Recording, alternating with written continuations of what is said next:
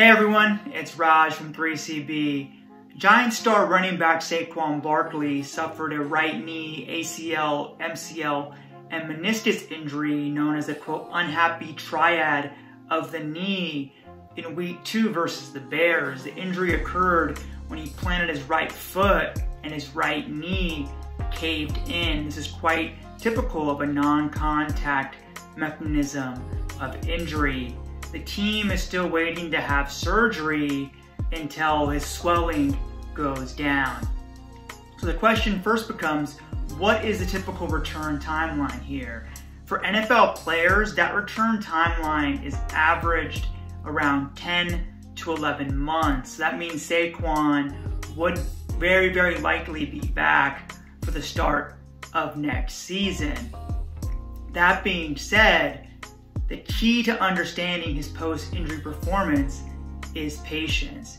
Typically, we've found that it takes about 18 to 24 months, a year and a half to two years for players to really return to their pre-injury levels of fitness and close to pre-injury levels of performance.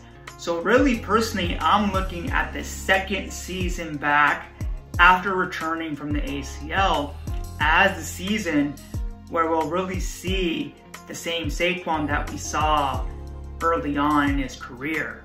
It takes that much time for multiple reasons. One is it takes time for the actual ACL ligament to become integrated into the system.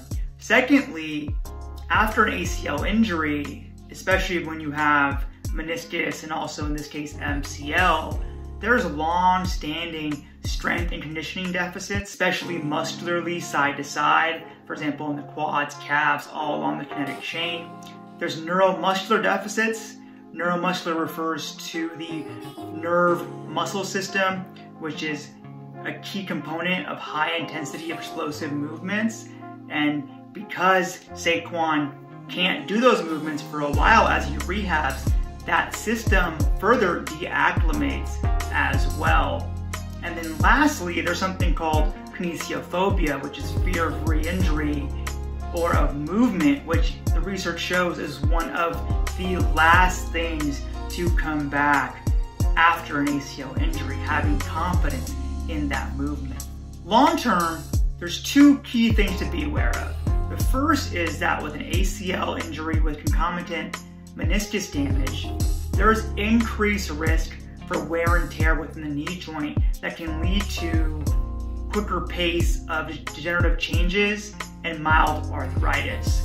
For example, Todd Gurley is a key example who tore his ACL at Georgia and in recent years he's been suffering because of those changes in his knee. That's especially true for running backs who have a high quantity of movement but also take a high quantity of hits as well. The second long-term concern here is re-injury risk.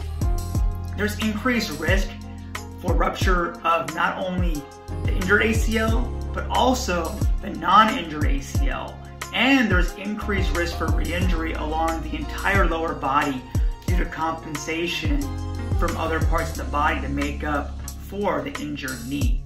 I know that sounds all like doom and gloom, but that's all quite inherent after an ACL injury and recovery and rehab has come a very long ways. Saquon has some key positives working in his favor. The first is that his extremely high level of fitness and commitment to strength and conditioning bodes very well for him and we know that often leads to better outcomes. Secondly, from everything I know about Saquon and I've heard, he has a very positive growth mindset that views these things as challenges rather than setbacks. And that's critical for a long rehab. Both of those factors remind me of Adrian Peterson, who came back quite quickly and has done extremely well since his ACL rupture.